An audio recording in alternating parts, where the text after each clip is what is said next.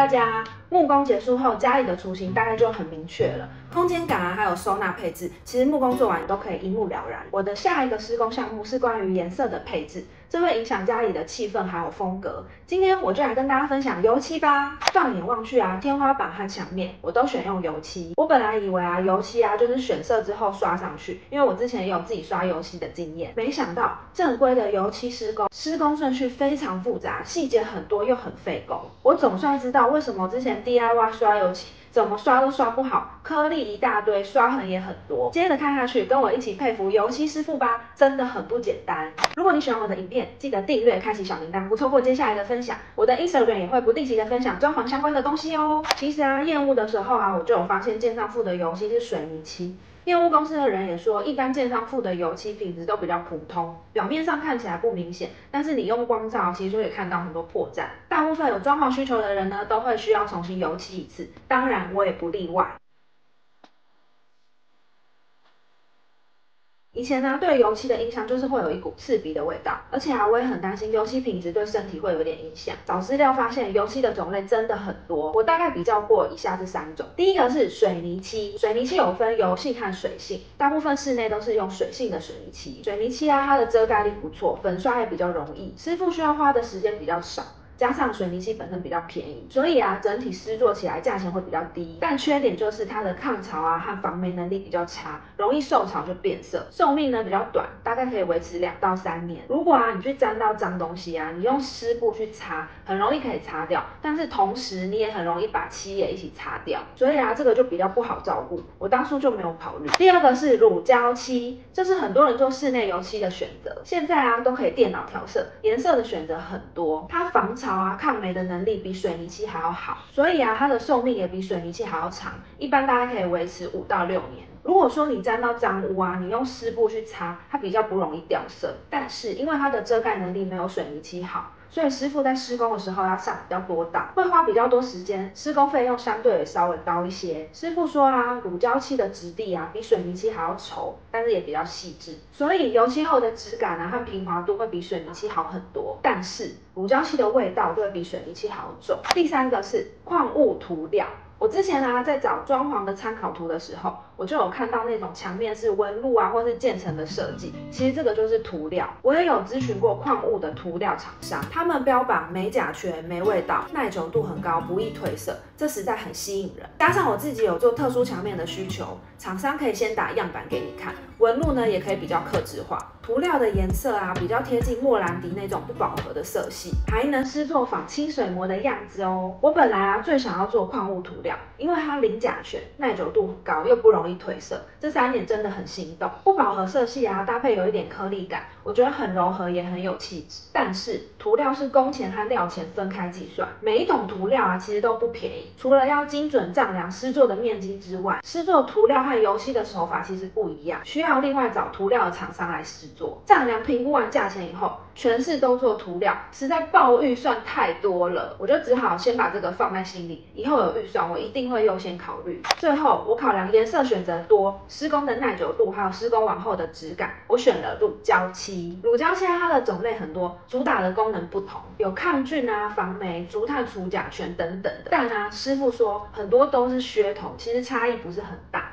你只要在油漆后做好确实的通风就可以了。于是油漆的品牌和种类，我就请师傅推荐。电脑调色颜色真的超级多，色卡也是厚厚一叠。我选的品牌还有自己的 app，你可以到现场实拍啊，然后配色，帮助自己做选择。不过啊，师傅说如果我选了电脑调色的色号，未来如果要做补色，同色号在电脑调色的部分会有些微的色差。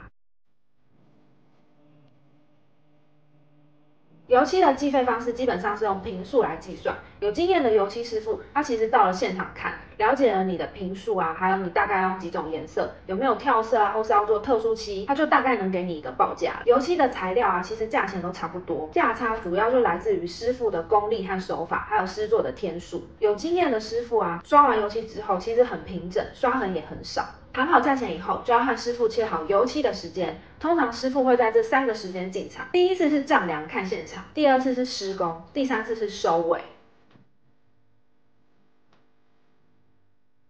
这次油漆啊，我主要的范围是天花板还有墙面。施工时啊，师傅会在衔接处上先贴纸胶带，然后上 A B 胶。天花板通常是用细酸盖板，我的墙面呢有一个线板。这些板材呢都会有一点细缝，需要先用 A B 胶把它填平，这样施作起来会比较平整。然后就是 P 土，我原本以为的 P 土就是补土，让墙面更平整而已，没想到 A B 胶加 P 土，竟然可以把工地的各种小撞伤啊、擦伤，还有一些小洞都补起来，真的太神奇了。再来，师傅会打磨，就是会拿一台很像砂纸机的机器，在不平整的地方啊，可能有一些颗粒啊，或是粗糙面，就要用打磨机把它磨平。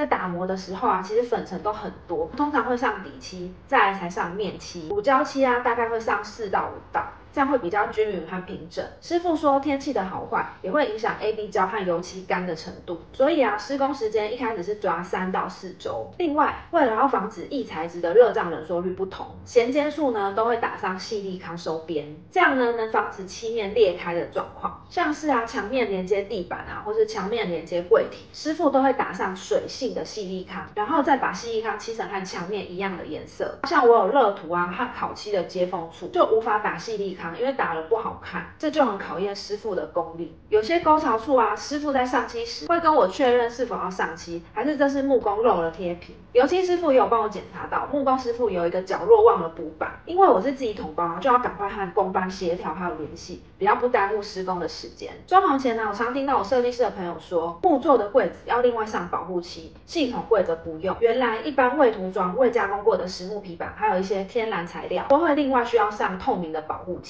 我这次的柜子啊，都是选择涂装过的实木贴皮，所以呢就省了保护漆的这个步骤。因为我的平数不大，家里选用的是比较素的浅灰白色系，我觉得这样比较明亮，空间感比较好，也比较不会那么压迫。颜色啊单纯一点，之后要买一些家具啊，还有家里摆设的颜色也会比较好搭配。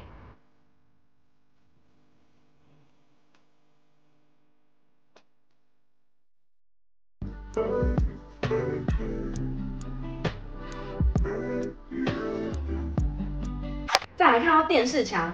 电视墙我本来想要做奶茶色系的彩绘涂料，后来油漆师傅啊建议我用热涂拉花，效果呢其实差不多，但价钱比较经济实惠。因为我的油漆师傅他本身也会试做热涂，我就不用另外找涂料厂商来试做，大概啊和师傅讨论一下纹路啊，还有热涂的颜色就 OK。但是在试做电视墙热涂的时候遇到了一个问题，当初因为我没有和木工师傅明确的告知我的电视墙会用特殊涂料而不是油漆，导致。油漆师傅在上色的时候，木板呢有褪色的问题。原来要做这种涂料，木作需要打油底，或是啊可以选用万用板之类，表面有处理过的板材。这样啊，油漆在上色的时候啊，就可以直接批涂上色，比较不会遇到木板褪色的问题。木板褪色啊，就会导致油漆需要花比较多的时间去处理。师傅啊，施做完后有和我确认花纹，但是我想要有一点小修改。师傅说，如果涂料要调整，需要重新打磨，就比较麻烦。但是他坚持要做到我满意。所以他帮我重新打磨，整个重重做一次，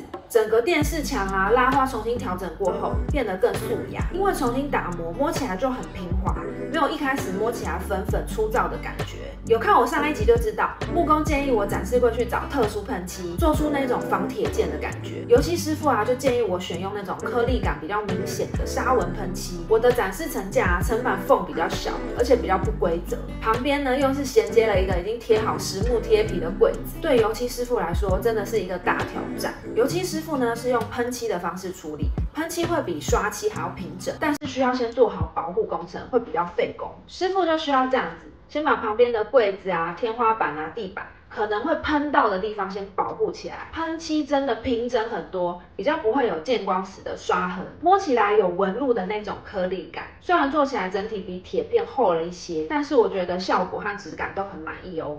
喷漆比较容易刮伤和撞伤，使用的时候还是要比较小心，避免尖锐物在上面移动。家里啊，唯一比较跳的颜色大概就是这个蓝色的线板，因为师傅说这个线板啊，我是放在沙发背墙，可能在使用的时候会有一些碰撞，建议用刷漆，不要用喷漆，这样之后要补色会比较容易。这个线板的蓝色是属于那种比较深的蓝色，而且它靠近阳台会容易有光照，师傅就有先告知，深色啊会比浅色更容易看到刷痕，他会尽量帮我刷的平整一点。其实啊，我觉得刷痕并不是很明显，要某一个角度才会看到，所以我觉得还 OK。